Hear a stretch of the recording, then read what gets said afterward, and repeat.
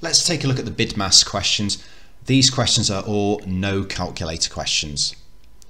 So first of all, what is 7 minus 1 multiplied by 4? So the word BIDMAS tells us the order of operations and here we've got subtraction and we have multiplication. So we need to do the multiplication first. So 1 times 4 is 4. So the question is now 7 take away 4. So the answer is 3. In question 2 we have division and subtraction. Now division takes place before subtraction. So we're going to do the 8 divided by 4 first, which is 2.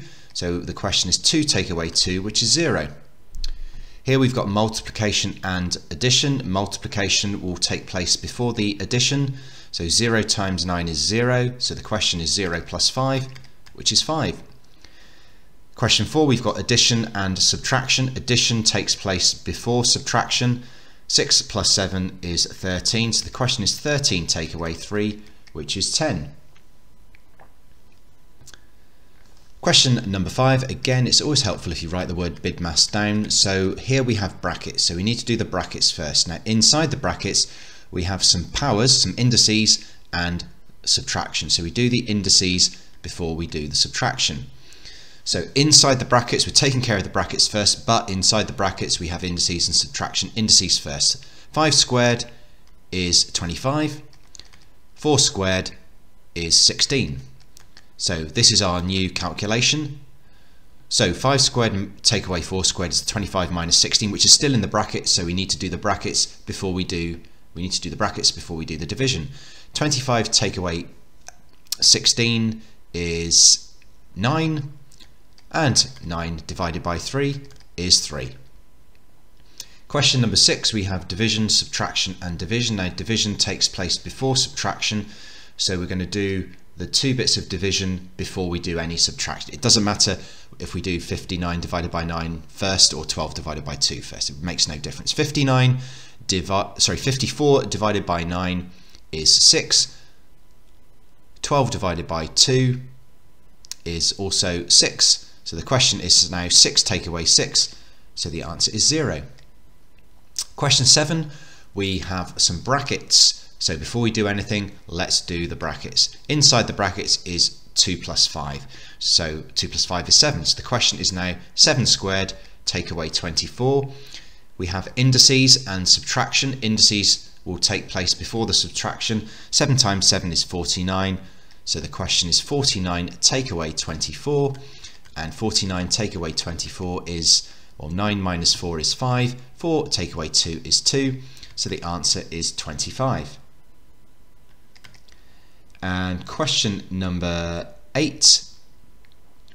20 multiplied by 8 minus 12 squared. So we have some brackets here.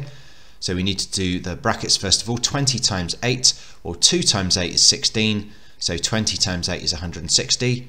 And we're taking away 12 squared. So before we do the subtraction, we need to do the indices. 12 times 12 is 144 and what is 160 minus 144 well count up from 144 to 160 that is 16 so the answer to question 8 is 16 moving on question 9 again I'm going to write the word BIDMAS so that we can remember the order of all the operations. Here we've got brackets indices and subtraction we need to do brackets first so inside the brackets is 3 plus 5 so the question is now 8 squared to take away 4. Next we'll do the indices, 8 times 8.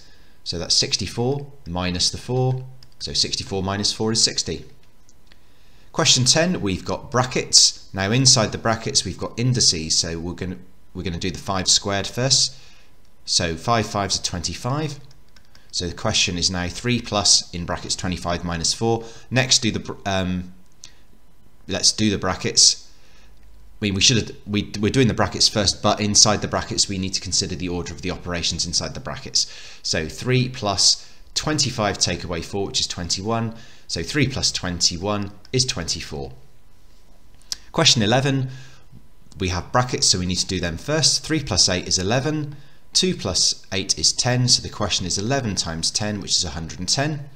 And in question 12, we need to do the multiplication before we do any adding. 8 times 2 is 16, so the question is 3 plus 16 plus 8. 8 plus 3 is 11, 11 plus 16 is 27. Question number 13, again I'll write BIDMAS to remind myself of the order of all the operations. We'll do the brackets first, 31 plus 33 is 64, so the question is 64 divided by 8, which is 8.